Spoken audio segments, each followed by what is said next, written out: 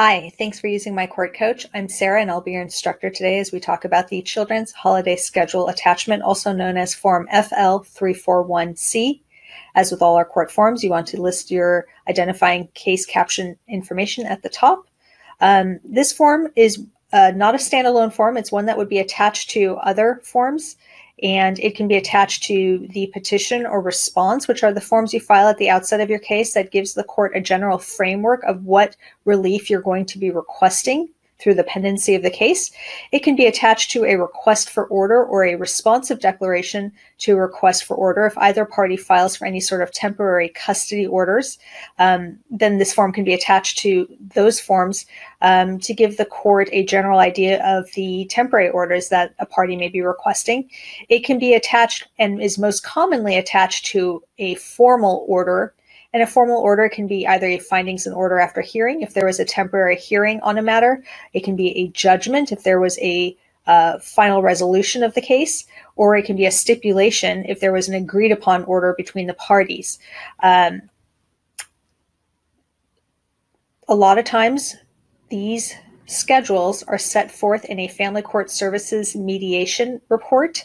Uh, if you, the parties went to family court services mediation, as part of their custody visitation request, then most of those reports will have some sort of holiday schedule, in which case you don't need to fill out this form as well. You can just attach a copy of that family court services recommendation if that's the order that the court is making.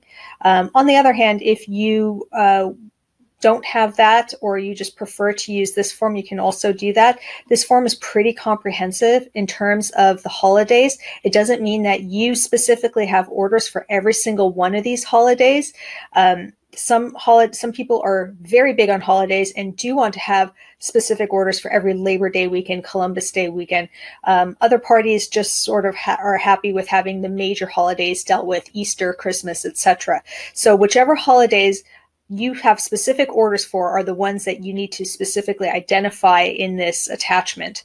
Um, in the second column, it will list the times for the uh, holiday to be exercised. It can be 8 a.m. to 8 p.m. Sometimes 4th of July, we'll see 6 p.m. the day before till 10 a.m. the next day. Whatever it is for that specific holiday, you want to list the times that that uh, exercise of time is to take place. And then um, you have the option in the next three columns of identifying which party gets that holiday. If it's a Mother's Day, a Father's Day, typically you're going to mark every year mother will get Mother's Day, father will get Father's Day. Other holidays, they tend to alternate. And so you would want to put in even years, for example, if the year now is 2020 and you know that this is going to be the petitioner's year for the holiday, then you would mark even years. Every even year petitioner gets um, New Year's Eve. Every odd year respondent gets New Year's Eve. And it kind of just alternates usually. However, it is set forth in your orders. That's how you want to reflect it here. And then in page two, if there are any holidays that are not specifically identified in the list provided on page one, then you would want to identify those here. And sometimes that can be more specific holidays to a particular religion, such as Jewish holidays, something like that. Um, and again, same rules, list the times and who is to get the holiday in what years.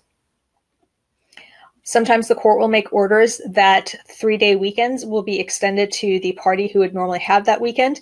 If so, you can mark the box down here. If there's any other orders the court makes regarding certain holidays, you can identify it in the other box. Below that, there's a field that discusses vacation time. And um, a lot of times the court will make specific orders regarding vacation time that each parent or a particular parent may have a certain number of days or weeks, whatever that is, you would mark that here.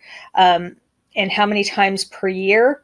Typically, it's not really specified, but if the court does specify that, then you can list that in 2A.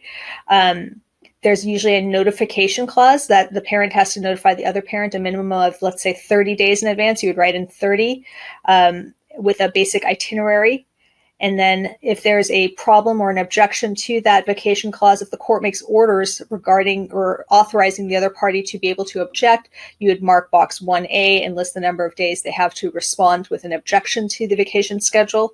Um, and then if the parties can't agree on vacation plans, I haven't seen this a lot, but if the courts do make orders regarding what the parties are supposed to do in that instance, then you'd mark box 2B2 and the specific orders that the court makes to resolve that dispute. You would mark the appropriate box here. Um, if the court makes specific orders authorizing the vacation to be able to take place outside of the state of California, you would mark 2C. Um, sometimes the court will make orders that vacations that take place outside of the United States, for instance, would require a written consent of the other party, um, or they could make that order specific to California. If they do, then you mark 2D and identify what is the restriction. And if there's any other orders the court makes, again, you would use our catch all, which is in 2E regarding vacation time. This gets attached to uh, another document that we went over at the beginning.